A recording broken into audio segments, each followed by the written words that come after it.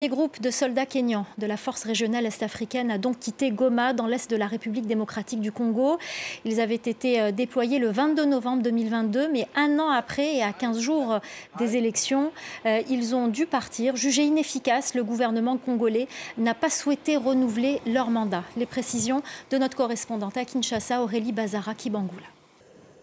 Sur le tarmac de l'aéroport de Goma, quelques centaines de soldats kényans ont embarqué direction Nairobi, un premier vol qui signe le début du retrait de la force régionale est-africaine déployée dans l'est du pays.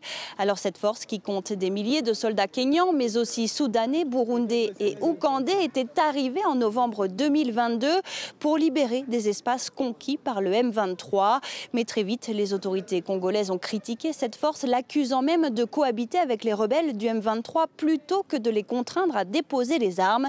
Côté population, les avis sont partagés. Le gouvernement a bien fait de ne pas renouveler le mandat de l'EAC. L'organisation ne servait à rien. L'EAC est juste venu pour bouffer l'argent du Congo sans travailler. Ils étaient comme des touristes, ils n'ont rien fait.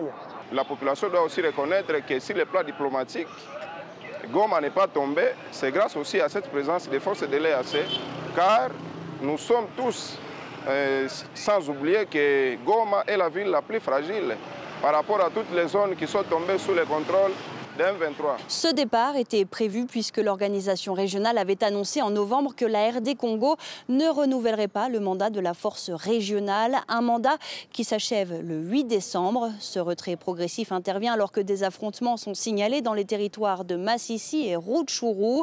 Pour remplacer cette force régionale, les autorités congolaises comptent sur le déploiement de nouvelles troupes, celles de la SADEC. Aucune date n'a encore été annoncée. Kinshasa compte aussi sur la montée en puissance de son armée qui à terme pourra assurer elle-même la défense du territoire congolais selon les autorités.